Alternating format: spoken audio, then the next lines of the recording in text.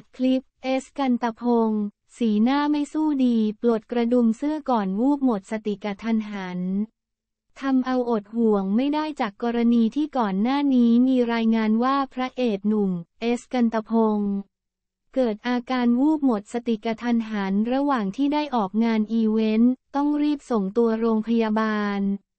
ซึ่งผู้จัดการส่วนตัวขณะนี้ทางด้าน เอสกันตะพงศ์อยู่ในความดูแลของแพทย์แล้ว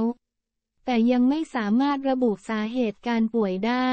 แพทย์ขอดูอาการวันต่อวันต้องยกเลิกงานที่รับไว้ทั้งหมด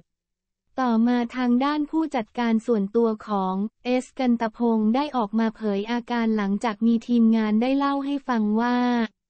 ก่อนที่หนุ่มเอสกันตพงศ์วูบหมดสติมีอาการหน้าซีดและจู่ๆก็หมดสติล้มลงที่พื้น แต่โชคดีที่คนข้างๆ คว้าศีรษะไม่ให้กระแทกพื้นได้ทัน และนำส่งโรงพยาบาลในทันที ล่าสุดผู้ใช้ TikTok รายหนึ่งได้ออกมาเผยคลิปเอสกันตพงศ์ในงานดีเบต และชาวเน็ตจับสังเกตจากคลิปได้ว่าสีหน้าของเอสกันตพงศ์เริ่มไม่สู้ดีแล้วเหมือนจะร้อนมาก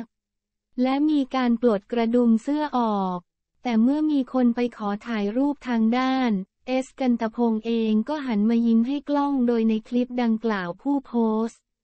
ได้บรรยายไว้ว่า คลิปนี้ดูจากที่เอสจะร้อนและอึดอีดเลยได้ปลดกระดุมเสื้อออกด้วยอากาศที่อบอ้าว และใส่ชุดรัดแน่นเครื่องหมายสี่เหลี่ยมส่งกำลังใจให้ที่เอสหายไวๆนะครับ โดยหลังจากคลิปดังกล่าวถูกเผยแพร่ออกไปได้มีชาวเน็ตเข้ามาส่งกำลังใจให้หนุ่มเอสหายไวๆ